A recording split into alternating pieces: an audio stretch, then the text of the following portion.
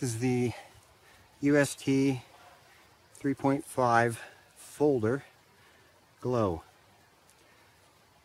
This is a folding knife. It's got its serrated sections here and it's non-serrated here. Extremely sharp out of the box. It does lock. To unlock, there is a lever here. You just slide this over and then the knife should fold back up.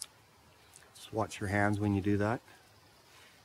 It does have a one-handed operation, which is the little thumb button here.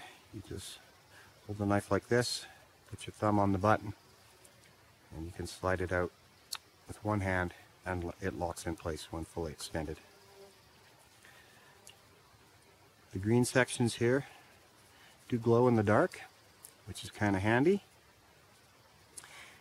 If you're in the tent and you've got a, a line in your tent where you may hang different things, this has a clip on it, very similar to a carabiner type clip.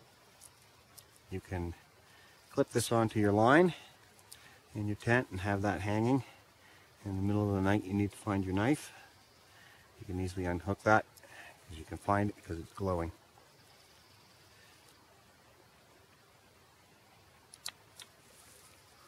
That's, like I said, very sharp out of the box. This is uh, this is a piece of wood that's been sitting around here for quite a while. It's fairly hard. It's not hard wood, but it's fairly hard. You can see it's not taking much to cut that. Um, the serrated section here is really handy for cutting rope. Paracord. There you have it. The UST 3.5 folder Glo. Take a look at it at ustbrands.com.